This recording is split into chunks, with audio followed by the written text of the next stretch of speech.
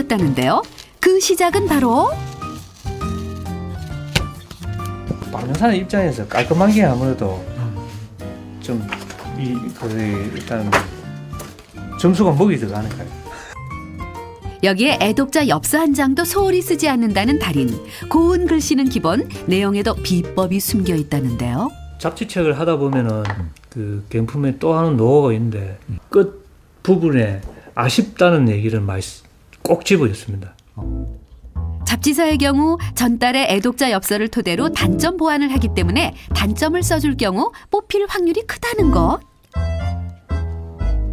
여기서 끝이 아닙니다. 내용에 충실했다면 겉모습에도 힘을 줘야겠죠? 아무리 사소한 엽서라도 이렇게 예쁘게 꾸며주는 게 바로 경품 달인의 센스.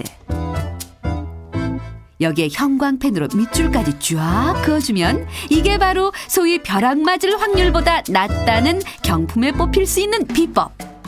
그냥 보내는 것보다 네. 이렇게 그림이라도 그리면은 조금씩 확률이 높아져요. 내 개인적인 생각입니다. 이거. 아, 그렇죠. 된다는 확실은 그건 없는데 일단 이거 들으면 되는 것 같아요. 내 생각에. 아, 예. 그래요. 정말 달인의 비법대로만 하면 경품 그까이 거 대충 당첨되는 거 아니겠어요? 예? 보기 좋 게 글씨를 좀 쓰신 분들한테 눈이 가는 편이고요. 음, 또 예를 들어 뭐 잡지를 올려서 붙였다든지 그렇게 좀 정성스럽게 꾸며주신 분들 한해서 많이 뽑는 편인 것 같아요. 혹시나가 역시나 작은 정성이라도 들어가 있으면 뽑히기가 쉽다고 하네요. 님 앞에는 좀 꾸민가? 이렇게 해주니까 자기들도 경품을 보내주죠. 노력을 해주니까. 아, 아, 그냥 그래. 아니고. 그냥은 이제 없죠. 아, 여기 옛날 것이고 여기 이제 지금 것입니다. 역시 달인 아니랄까봐 경품 응모를 위해서 평생 써온 글씨체까지 바꾼 달인. 아, 글씨는 따로 이렇게 연습을 했습니다.